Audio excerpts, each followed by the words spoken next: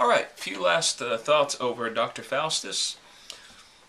As far as what Faustus receives for uh, the bargain, Faustus craves knowledge, knowledge of all things. And we find out that he's not really given that. Um, the, Mephistopheles makes it seem like that that will be given to him, but it's really not. And, and specifically, anything related with God is off limits. There's a few places where even if Mephistopheles, excuse me, if Faustus even mentions the name God, Mephistopheles is kind of like, ah, la, la, I'm not listening. We're not talking about God. Don't talk about God. Lucifer shows up and scares the crap out of uh, Faustus, as I'm sure it would anyone. Um, but Lucifer shows up and he's like, hey, Faustus, you're hurting my feelings here. We made a deal and, and all you're talking about now is God. Think not of God. Think only of hell. Think only of Lucifer.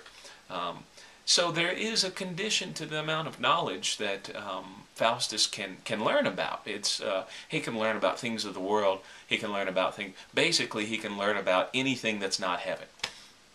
Um, but it seems like if it's related to God or um, to heaven, that's off limits. So he doesn't have omnipotence. He's not given omnipotence, uh, knowledge of all, which it seems like that's kind of what he was desiring. He's given a bum deal. Uh, there's another part here where it's, and it's this is kind of subtle, but I, I think it, it goes with uh, um, the condition of knowledge. Faustus, one of the first thing he asks for is a wife, and Mephistopheles basically summons a, a demon bride, and of course uh, Faustus is like, "Oh, get that!" I think he calls it a hot whore or something. Get get her away, it away. Um, this is kind of a joke on Mephistopheles' part because Mephistopheles says, "You know, don't marry. Why do you want to get married? I'll bring you a new woman every day."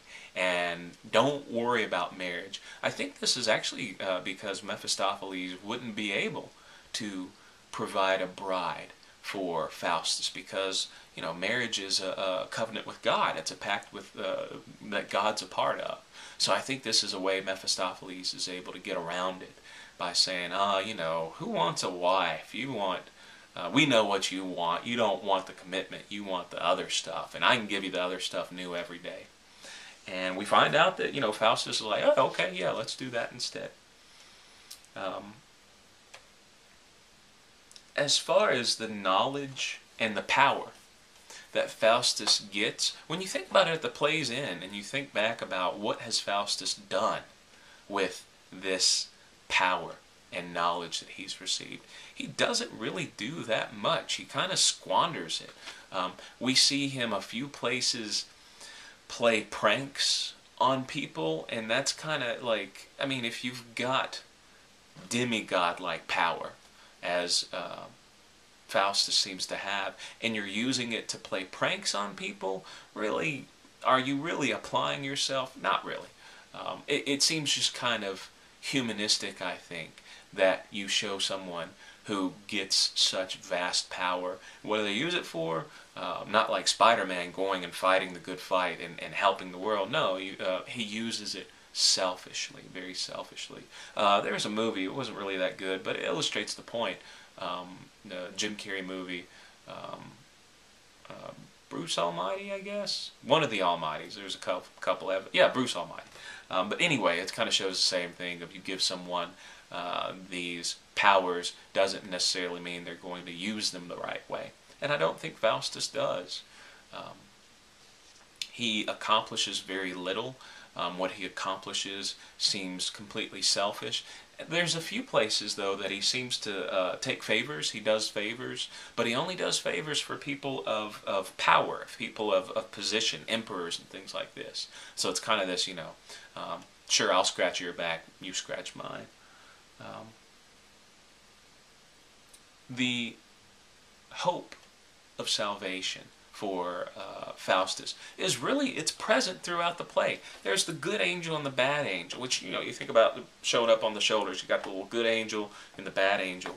Um, we've got these in the play. They show up throughout the play. Uh, and the good angel is always saying, you know, repent, repent, repent. It's not too late. God will have mercy on you. But Faustus ignores this because he's governed by fear. He's governed that um, the demons will tear him apart, will tear into his flesh if he vouches or if he uh, welches on the deal and he uh, tries to find mercy with God. Um, so it's fear that keeps Faustus trapped in uh, the pact, fear of what the demons will do. And the good angel communicates that the demons would have no power to harm Faustus, not one hair of his head, if Faustus truly repented, that he would be protected by God. Um, it's it kind of goes back to the pride, the hubris that Faustus shows, because even at the end of the play, when he's discussing his situation with his the scholars and his time's running out, the scholars say, repent, you know, get out of the deal by, you know, sh sh showing repentance and, and, and calling on God to help. And Faustus seems to show more hubris by separating himself from all other humanity. He says that even the original sinners, uh, Adam and Eve, even they are subject to grace, but he is not. Um, this isn't really something that it's it's not because uh, Faustus looks down on himself. It goes back to Faustus does not view himself as equal to anyone else. That that here his pride, uh, his inflated sense of ego, keeps him from realizing the gift that he can. You know, it's this uh, the monopoly get out of jail free, get out of hell free, um, and and the good angels basically waving it in his face. Here his friends are trying to tell him, look, you know, take advantage of it and, and go to God. But Faustus um, doesn't really see this as an option for him. It's an option for anyone but him. But he's different, even though he's not. Um, he thinks he's different.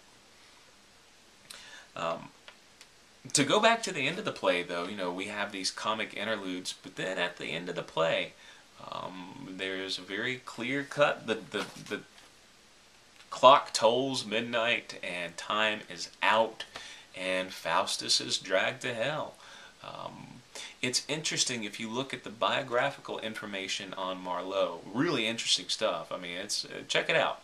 Um, but uh, one of the things he was accused of in his life was um, atheism. Um, I, I, don't really. The content of the play seems to promote uh, a pretty heavily Christian message. So either um, he was falsely accused, or he's just uh, got a really creative uh, and uh, good sympathetic mind. But um, I think that Faustus is. Um, it, it, revisits a lot of the ideas we've already seen in some of our other literature, and we'll look at some literature in the future uh, in the time we have left that'll echo some of the ideas that we have uh, here in the play. So I hope you enjoy it.